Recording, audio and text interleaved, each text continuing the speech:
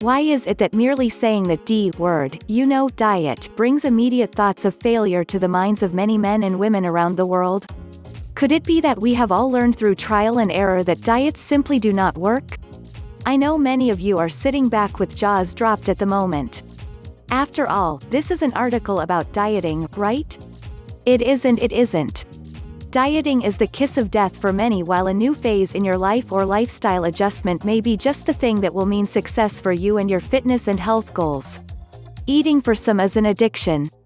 Unfortunately, you can't exactly give up eating altogether as a smoker can give up cigarettes.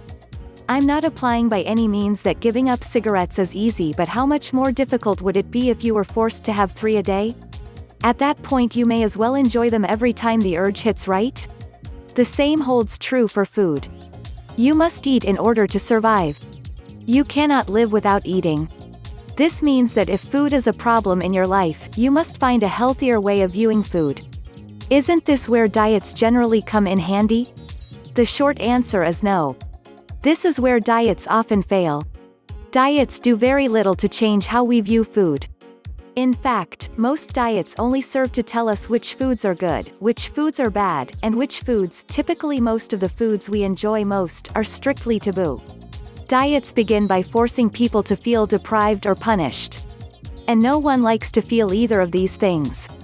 Even worse however, is that we punish ourselves further when we slip along the straight and very narrow pathways upon which our diets place us.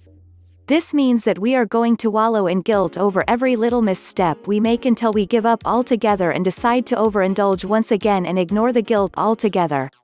In order to have real success you must make a lifestyle change. This is the only way that you will be able to shed those unwanted pounds without experiencing the horrible guilt that so many dieters go through each and every step of the way with their diets. Set goals for yourself. Keep them aggressive but realistic for fitness, dropping pounds, and eating new healthy foods. Even if your goal is as simple as eating 5 vegetable servings a day it is a great place to start. Change your way of eating. Then change your way of seeing food and you will experience amazing changes in your attitudes toward your health, your body, and even your fitness level. As the first pounds begin to drop you will begin to experience more energy and less pain when exercising. This should help keep you motivated to do even more as time goes by. Do not think that long-term weight loss goals will be as easy to achieve as the first 5 or 10 pounds.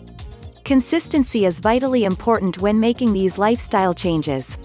Take each day as it comes and begin again the very next day. This means that even if you fall completely off the wagon today, you can start over tomorrow. The trick is in staying.